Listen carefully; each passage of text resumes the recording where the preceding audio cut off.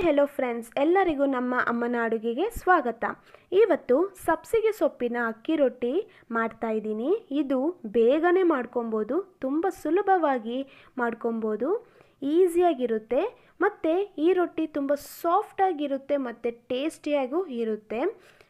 ಇದಕ್ಕೆ ಬೇಕಾಗಿರುವ ಇಂಗ್ರೀಡಿಯೆಂಟ್ಸ್ ಈರುಳ್ಳಿ ಒಂದು, ಹಸಿಮೆಣಸಿನಕಾಯಿ ನಾಲ್ಕು ಸ್ಕ್ರೇಪ್ ಮಾಡಿರುವ ಕ್ಯಾರೆಟ್ ಒಂದು, ಸಬ್ಸಿಗೆ ಸೊಪ್ಪು ಒಂದು ಕಪ್ ತಗೊಂಡಿದ್ದೀನಿ. ಇದು ತುಂಬ ಆರೋಗ್ಯಕ್ಕೆ ಒಳ್ಳೆಯದು ಕೊತ್ತಂಬರಿ ಸೊಪ್ಪು, ಅರ್ಧ ಕಪ್.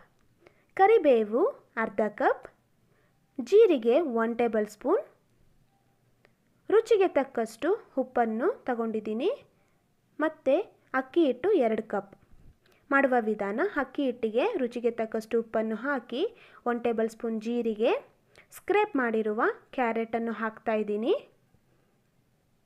ಚಿಕ್ಕದಾಗಿ ಕಟ್ ಮಾಡಿರುವ ಮೆಣಸಿನಕಾಯಿ, ಈರುಳ್ಳಿ ಒಂದು ಕಪ್ಪನ್ನು ತಗೊಂಡಿದ್ದೀನಿ.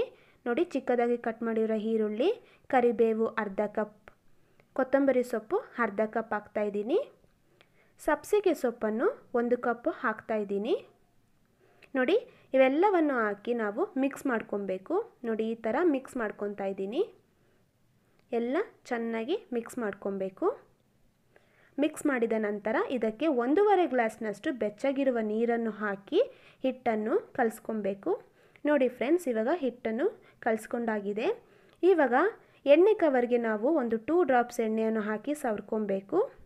ಇವಾಗ ಹಿಟ್ಟನ್ನು ನೋಡಿ, ಈ ಥರ ಉಂಡೆಯನ್ನು ತಗೊಂಡು ನಾವು ಈ ಥರ ರೊಟ್ಟಿಯನ್ನು ತಟ್ತಾ ಇದ್ದೀನಿ. ಈ ಥರ ರೌಂಡ್ ಶೇಪ್ನಲ್ಲಿ ತಟ್ಟಬೇಕು ನೋಡಿ ರೌಂಡ್ ಶೇಪ್ ಬಂದಿದೆ. ಇವಾಗ ಸ್ಟವನ್ನು ಹಚ್ಚಿ ತವನ್ನು ಇಟ್ಕೊತಾ ಇದ್ದೀನಿ. ನೋಡಿ, ತವ ಬಿಸಿಯಾದ ಮೇಲೆ ಇದಕ್ಕೆ ಒಂದು ಸ್ಪೂನು ಎಣ್ಣೆಯನ್ನು ಹಾಕ್ತಾ ಇದ್ದೀನಿ.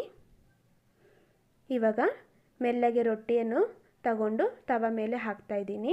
ಇವಾಗ ಇದಕ್ಕೂ ಒಂದು ಸ್ಪೂನ್ ಎಣ್ಣೆಯನ್ನು ಹಾಕಬೇಕು. ನೋಡಿ, ಇವಾಗ ಎಣ್ಣೆಯನ್ನು ಹಾಕಿ ಇದನ್ನು ತಿರ್ಸ್ಕೊತಾ ಇದ್ದೀನಿ.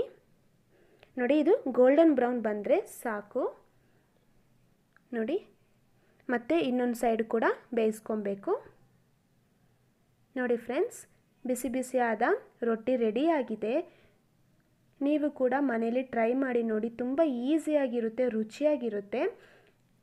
ಈ ವಿಡಿಯೋನ ನೋಡಿದರೆ ನೀವು ಮನೇಲಿ ಟ್ರೈ ಮಾಡಿ ನೋಡಿ, ಮತ್ತು ಹೇಗೆ ಬಂತು ಅಂತ ಕಮೆಂಟ್ ಮಾಡಿ. ಈ ವಿಡಿಯೋ ಇಷ್ಟ ಆಗಿದರೆ ಲೈಕ್ ಮಾಡಿ ಶೇರ್ ಮಾಡಿ. ಮತ್ತು ನಮ್ಮ ಅಮ್ಮನ ಅಡುಗೆ ಚಾನಲ್ಗೆ ಸಬ್ಸ್ಕ್ರೈಬ್ ಮಾಡ್ಕೊಳ್ಳಿ. ಈ ವಿಡಿಯೋ ನೋಡಿರುವ ಎಲ್ಲ ವೀಕ್ಷಕರಿಗೂ ಧನ್ಯವಾದಗಳು.